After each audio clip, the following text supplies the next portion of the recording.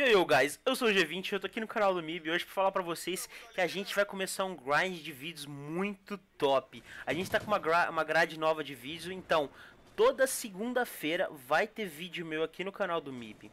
Então se você não é inscrito no canal, tá esperando o que, cara? Tá de bobeira aí? Abaixa aí, ó, vai lá, inscreva-se. E é isso aí, cara, bora lá.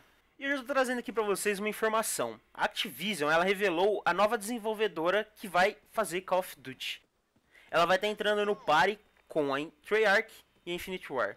Então agora vão ser três desenvolvedoras. Isso é muito bom, cara. Eu gostei muito dessa notícia porque o COD agora, a produtora vai ter três anos para poder fazer um COD. Cara, isso tipo é muito bom. Porque até ano passado era só a Treyarch e a Infinite War. Então, um COD um ano da Infinite War, no outro da Treyarch. Infinite War, Treyarch. E era isso. E era uma rotação entre Modern Warfare e Black Ops.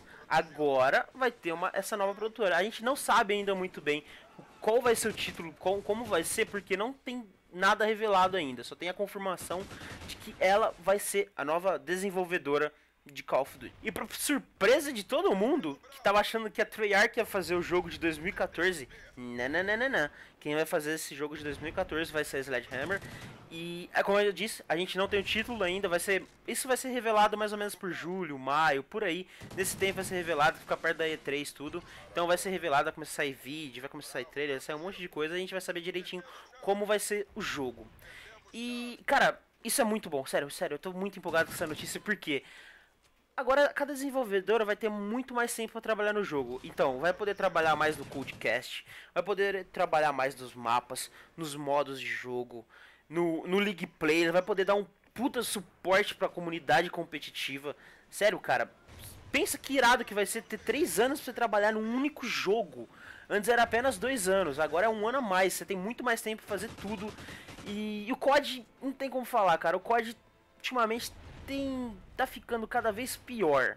Sério, tá ficando cada vez pior, tá só decaindo e isso pode ser o up que a gente tá precisando para nossa comunidade, pro COD voltar a ser o que era. Porque igual, a galera tá toda esperançosa pelo Titanfall que vai sair, acho que em março agora, falando que vai derrubar o COD, que depois do Titanfall COD já era. Eu não tô, eu não acredito muito nisso, porque COD é COD, né, cara? Tu joga aí todo dia e tu gosta, tu se irrita e whatever.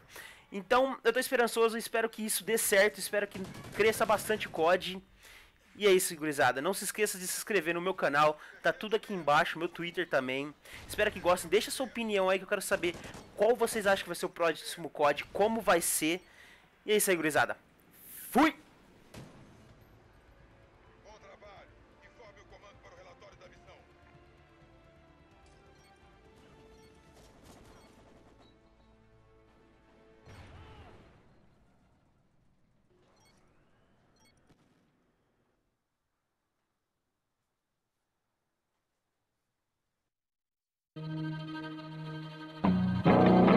Seek you